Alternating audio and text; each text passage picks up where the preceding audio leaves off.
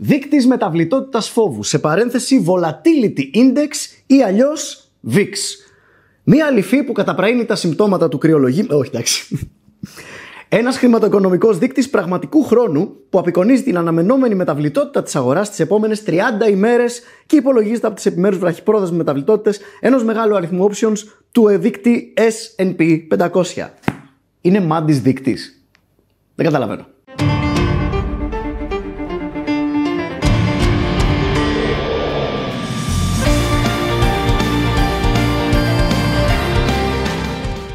Για να το πούμε πιο απλά, ο δείκτης μεταβλητότητας, ο VIX, είναι στην ουσία ένα καλάθι γεμάτο options του S&P 500, ο οποίος μας δείχνει πόσο γρήγορα ανεβαίνουν ή κατεβαίνουν οι τιμές σε αυτό το καλάθι μια συγκεκριμένη χρονική περίοδο. Από αυτές τις κινήσεις εμείς συμπεραίνουμε την προσδοκία που έχει η αγορά για την άνοδο ή την πτώση του δείκτη S&P 500 τις επόμενες 30 μέρες. Μεταβλητότητα δηλαδή σημαίνει πόσο συχνά και πόσο έντονα ανεβοκατεβαίνει η τιμή ενός συγκεκριμένου χρηματιστηριακού προϊόντος. Ο VIX είναι ένας σημαντικός δείκτης στον κόσμο των συναλλαγών και των επενδύσεων, διότι μας παρέχει ένα μέτρο για να μετράμε τον κίνδυνο της αγοράς και να υπολογίζουμε το λεγόμενο συνέστημα της αγοράς, κυρίως το βαθμό φόβου των επενδυτών. Γι' αυτό και πιο σωστά λέγεται δείκτης αβεβαιότητας. Στην πράξη δηλαδή, οι επενδυτές χρησιμοποιούν το VIX για να σφιγμομετρήσουν τον κίνδυνο, το φόβο και το άγχος της αγοράς όταν λαμβάνουν τις επενδυτικές τους αποφάσεις. Ο VIX δημιουργήθηκε το 1993 και έκτοτε θεωρείται ο κυριότερος δείκτης παγκοσμίως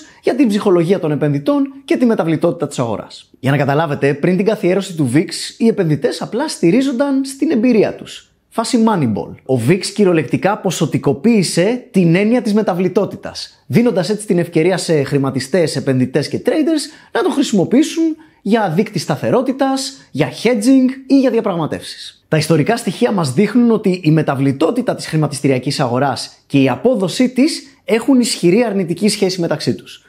Και για να το μεταφράσουμε λίγο, όσο οι αποδόσεις ανεβαίνουν, η μεταβλητότητα πέφτει. Και το ανάποδο, όσο η μεταβλητότητα ανεβαίνει, οι αποδόσεις πέφτουν. Προσοχή, έτσι. Αν ο VIX αυτή την εποχή, ας πούμε, είναι ψηλά, αυτό δεν σημαίνει ότι η αγορά ντε και καλά θα κινηθεί καθοδικά. Αυτό σημαίνει απλά ότι οι επενδυτές αναμένουν έντονες διακυμάνσεις είτε ανωδικές είτε καθοδικές. Μονάδα μέτρησης του VIX είναι η ετήσια ποσοστία μονάδα. Τι σημαίνει αυτό, Ότι αν ο VIX ας πούμε είναι 10, αυτό σημαίνει ότι φέτος περιμένουμε η αγορά να κινηθεί ή ανωδικά ή καθοδικά κατά 10%. Και φυσικά, όπως και στους υπόλοιπους δείκτες που έχουμε δει, έτσι και τον VIX δεν μπορείς να τον αγοράσει να τον πουλήσεις κατευθείαν. Πρέπει να επενδύσεις στον VIX μέσα από σχετικά futures, options και ETFs. Τώρα, πώς μετριέται ο VIX; Η μεταβλητότητα μπορεί να υπολογιστεί με δύο διαφορετικές μεθόδους. Η πρώτη βασίζεται σε στατιστικούς υπολογισμούς, τους οποίους κάνουμε πάνω σε κάποιες ιστορικές τιμές μιας συγκεκριμένης χρονικής περίοδου. Δηλαδή, υπολογίζουμε τη μεταβλητότητα για τους χ προηγούμενους μήνες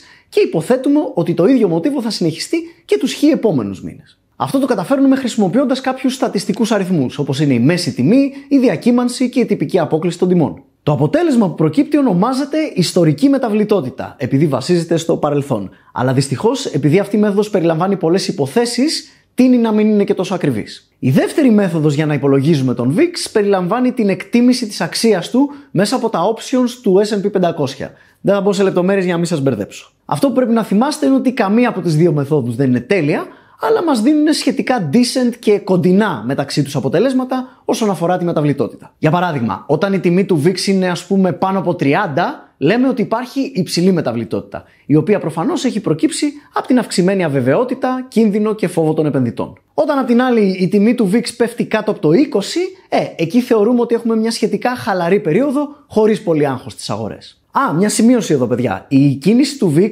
είναι πολύ πιο έντονη από την αντίστοιχη κίνηση του SP 500. Δηλαδή, αν ο SP πέσει κατά 10 μονάδες, ο VIX θα ανέβει κατά πάρα πολύ περισσότερο. Για παράδειγμα, τον Αύγουστο του 2008, ο S&P 500 μειώθηκε κατά 10% και ο VIX αυξήθηκε κατά 260%. Κλείνοντας λοιπόν, σήμερα γνωρίσαμε τον δείκτη μεταβλητότητας VIX, ένα πολύ χρήσιμο εργαλείο για την παρακολούθηση της αγοράς, το οποίο είναι ταυτόχρονα και διαπραγματεύσιμο προϊόν. Πολλοί επαγγελματίες επενδυτές εκεί έξω παίρνουν τις αποφάσεις τους σύμφωνα με αυτό το δείκτη, δίνοντας στο VIX έτσι τη δυνατότητα να κινεί τις αγορές. Αλλά από τη στιγμή που ξέρουμε ότι υπάρχουν αμφιβολίες σχετικά με την ακρίβεια του συγκεκριμένου δείκτη, οφείλουμε να είμαστε πάντα προσεκτικοί στις αποφάσεις μας. Τα λέμε την επόμενη φορά.